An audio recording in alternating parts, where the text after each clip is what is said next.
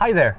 Uh, see, this might look like some sort of massive luxury SUV. I mean, look at this back here. I've got legroom galore. I've got a nice little table to set things on, cup holders everywhere, up to nine USB ports, all of that that would make this great big luxury thing, right?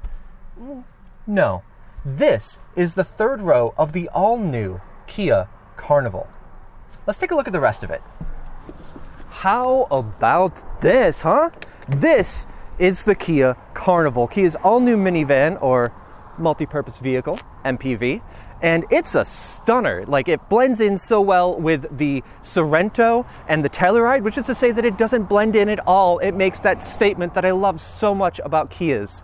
What I was just enjoying, enjoying back there is the slide flex seating where the middle row can go forward, backward, all independently of each other. The exact middle of the bench seat can slide that all the way back to be a table for the people in the third row.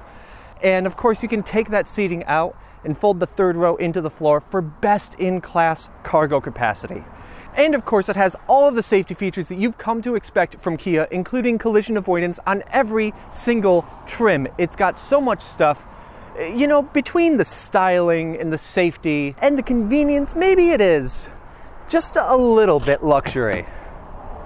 To try it out for yourself, to see that for yourself, stop in right here at Garvey Kia. We are getting carnivals in now. We're starting to get them on the lot, and we're so happy to be able to get them into your hands and on the road. So give us a call go online or stop in today. Now, um, if you'll excuse me, I was in the middle of a chapter.